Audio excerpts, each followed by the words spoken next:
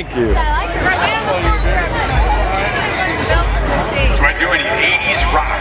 Oh, you should have been here earlier. I was doing all